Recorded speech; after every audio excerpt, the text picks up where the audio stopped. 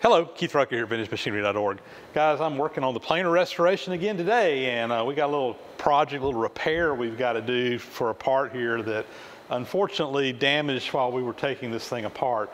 So the casting that you see up here on the counter or on the, on the workbench is the cross beam that goes across the two uprights. It moves up and down, and on this is another piece that moves side to side. And that's where the clapper box is mounted on this metal planer.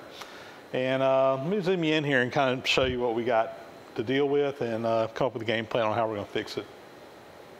Well, on the back side of this, there's these little tabs here, and inside of this fits this piece here that is has the screw that goes in it that raises and lowers the whole piece.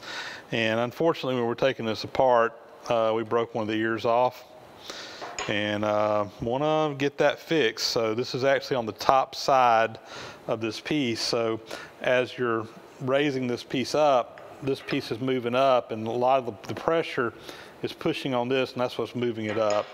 And uh, we just, we were taking this apart, we had an accident and that piece broke off of it. So today's task is to put it back on.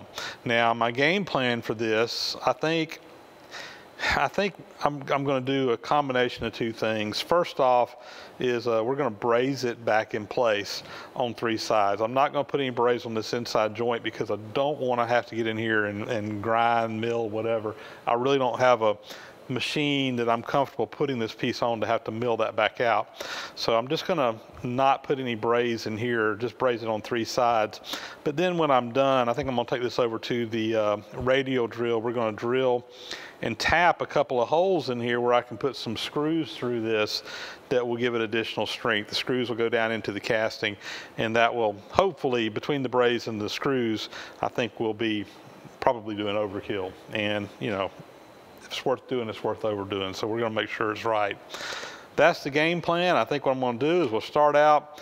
I'm just going to clean these castings up along the break, put some bevels in here to give room for our braze to go, and get this set up. Start putting some heat in it, and we'll braze it back together. Let's do it. So looking here, I've shown you the setup we've got where the I put the piece that fits into this slot in there and actually put a little shim up underneath the bottom. There's a four thousandths thick shim in there so that when we unclamp this, that part will come in and out uh, without any problem. Have enough clearance in there. And we just use a set of vice grips and uh, clamped it all in place, get it firmly where it needs to be for brazing. And you can see I, I beveled out all the way around uh, that piece of metal there. You can look at it from a different angle here, and that just gives a uh, area for that braze to go down in there. You want to make sure it's very clean, and you really want to have a nice V'd out area uh, for that braze to go down into. Um, coming in here now, I got a rosebud tip on my torch, and we are just putting heat in here. And the first probably 10 or 15 minutes, all I'm doing is just soaking heat into this part. And you can see now we're starting to get a little bit of cherry red on there. You really can't see directly under the flame very well, but trust me, it's cherry red as well. Uh, the way this uh, camera adjusts for the bright light, it really makes the flame look different uh, on camera than what it's actually looking like in person. I know a lot of people always say I don't have my my flame set right, but it has more to do with the camera uh, adjusting for all that brightness in there. Just trust me, uh, we got it set right. But as we're going across here, you see I'm starting to lay some braze in there. I'm using a flux brazing rod. It's a pre-flux, and uh, we're just letting it go through here and melting that metal down in there. Now, one little trick when you're brazing, I really don't like to just put the torch right onto the brazing rod. You notice I'm I'm soaking the the torch into the metal. Uh, yeah, we got a little bit kind of coming over on the side, but uh, you really want the metal to be hot enough to to melt that brazing rod down in there, and not just hit it with the torch and melt it in there. If you if you hit it directly with a torch, a lot of times it will it, it, you you don't get a good fusion to your metal like you do if you let your metal actually melt the rod in place. It's a little bit tricky on this part because I'm in tight quarters, but that's kind of what I'm aiming for. And we're just working our way across the top of this weld and making sure we get that metal to flow in as we go. Now I am stopping periodically. It's taking me some time again to get the heat just right. Uh, so I'll stop and, and heat it up and then braze a little bit, stop, heat it up, braze a little bit. When I get down here to the very end though, I am having to kind of come on the side and braze uphill. That's a little bit trickier than brazing across the top, but uh, I had already brazed the other side off camera. But we're just going up through there and getting all that brazing there. I took this off. It's cooled down now, at least enough that I can work with it. I went ahead and just took my angle grinder and just kind of dressed that up a little bit. Didn't really take much off of it, just made it look a little bit better so that when we paint it, it won't look bad. And we got a nice braze joint all the way around it. Now, will I say all the way? Three sides. This side here is still open. And, you know, that's a little bit concerning because that's really where most of the force is going to be when it pushes on this top side, pulling up on it. So to kind of counter for that, uh, as added uh, security, I'm to drill and tap a couple of holes. We're going to put a couple of screws in the top there, and that should give us plenty of strength uh, to raise and lower this piece. So I've got things set up over here on my Carlton radial drill now. I got the crossbeam bolted down to my table. I've got everything set up here. We're gonna go ahead and start uh, drilling. Just start out by putting a little pointer in here. I've just center punched a couple of holes. Uh, I can move this whole top end around to get right in line with my holes and we'll drill them out. So let's do it. Got my pointer right there where I want it. I'm gonna take my pointer out and put my drill bit in. We're drilling for a 1024 um, hole, tap size. So this is a number 25 drill bit, which is the right one for that. And we got our speed. Oh, that drill bit's not in there good.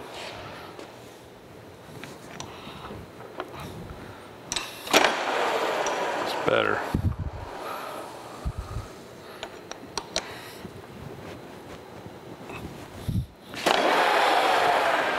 All right. Just take her on down.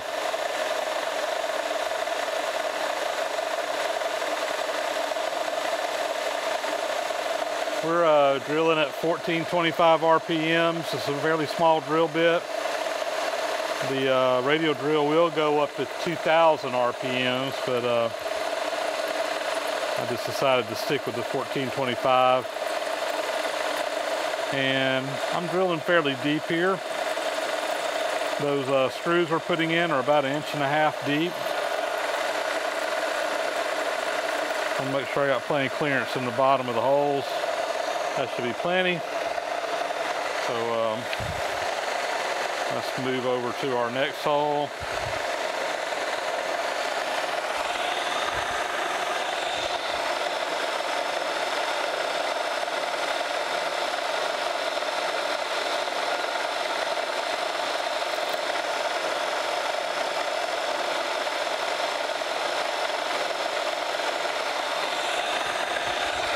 Everything in place. And here we go.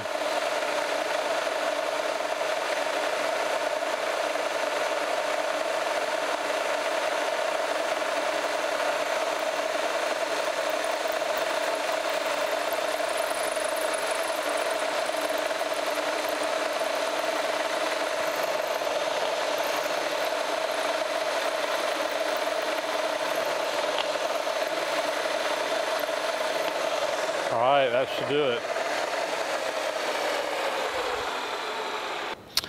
And now we come in here and I'll just tap these by hand. I've got a 1024 tap on there. Put a little bit of uh, anchor lube on it to help cut those threads. Particularly since we're going so deep in such a small tap, I really don't want to break a tap in here.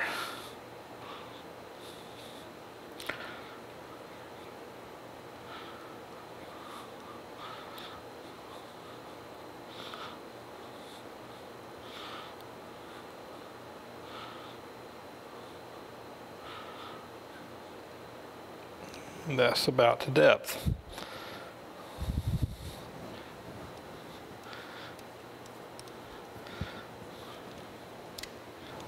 All right, and hole number two, put some fresh uh, anchor lube on there. First one went real good. This cast iron cut's really nice.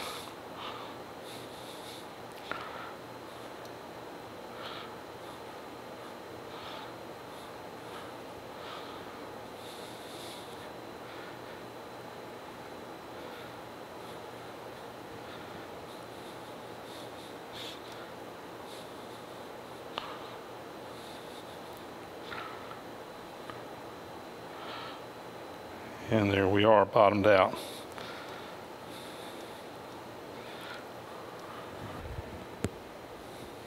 And now we'll put our screws in.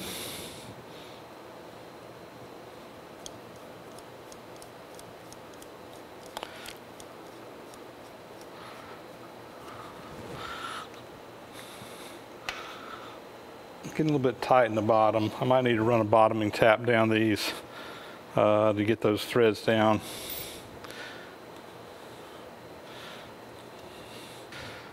So if you're not familiar, a typical taper tap, the bottom part of this is going to be tapered, so it's not going to be cut to full threads. A bottoming tap, on the other hand, cuts full threads all the way to the bottom. Uh, when you're use a, using a bottoming tap, you always start it with the um, taper tap and then finish it with the bottoming tap. So uh, we'll run these down and it won't even cut till we get down to the bottom. And it'll start getting tight. I can feel it getting a little bit tighter already. We're starting to get into that taper. And we're cutting there. We'll take her all the way down. That's as deep as that tap goes, but I got another good five or six turns on it that I could feel it cutting. So let's run down to both of them.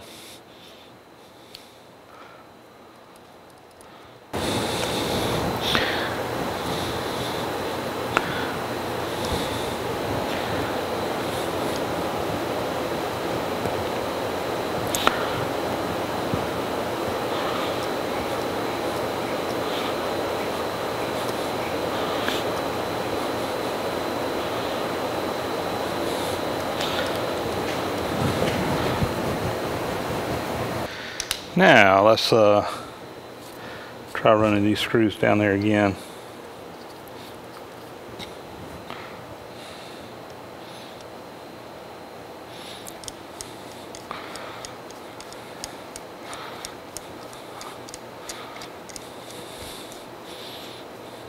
All the way down.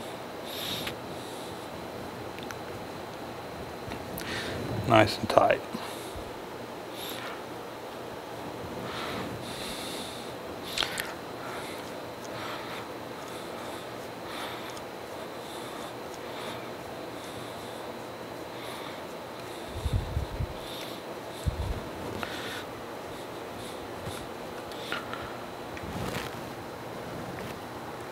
And there's that one. And just check our fit here. Our block goes in there fine. There's really hardly any slop in there at all, just what I want. Fits nice. There's a bolt that goes through this that screws in there. So you really, you got a lot of your weight is on that screw, but we got the tab in there as well. I'm not worried at all about this thing. Uh, breaking now. I think between the braze job and having those pins going through there, uh, we're in good shape. So I think we're done. Well, there you go. Another successful repair. Uh, this piece now is ready to, probably next thing we're gonna be doing on there is getting the bottom end or the, the face on the other side scraped in. Gonna have to make sure that it's flat and parallel to these uh, back pieces. And then there's gonna be some other scraping on there. I think there's a dovetail on there and some other stuff that the front piece slides on. So we'll be uh, getting this thing ready to do some scraping on here very soon. And with that, uh, that's gonna be a wrap, guys. Thanks as always for watching. Please uh, leave comments if you like. Subscribe to the channel if you haven't already. Thumbs up are always appreciated. And we'll catch you on the next video.